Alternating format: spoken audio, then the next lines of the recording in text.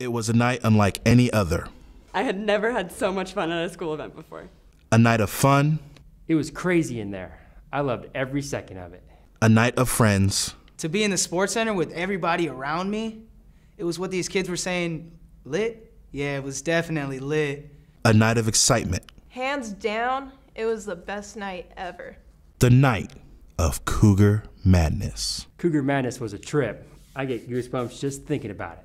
From start to finish, easily one of my favorite nights of the year.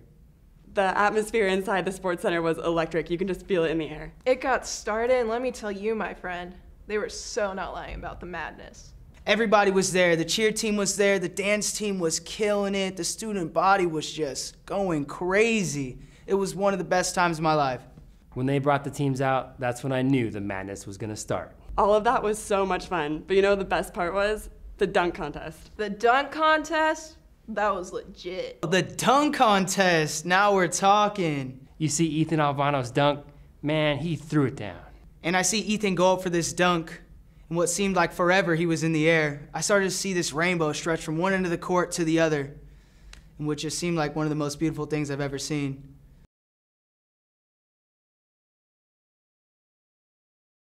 My name's Paul, and I miss Cougar Madness.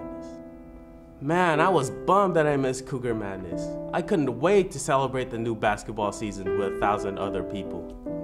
I was watching Fuller House on Netflix, having a good time.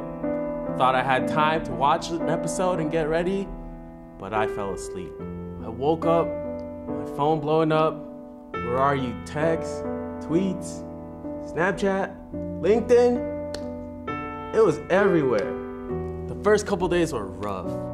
Everybody was talking about it. I can't believe I missed out. I had to pretend like I knew what was going on. I felt like a snake, dude. Yeah, what are you gonna do, you know? I already missed it. I wish I just had another chance. I'd be there front and center. I guess I'll never have another shot. I'm bummed. You know there's another one this year, right? What? For real? There is? Yeah. Cougar Madness, October 19th, 8 p.m. at the Sports Center. You're joking. Not even a little bit. It's gonna be free food, free swag, giveaways, and three chances to win $10,000. $10,000? Wow, I'll definitely be there this year.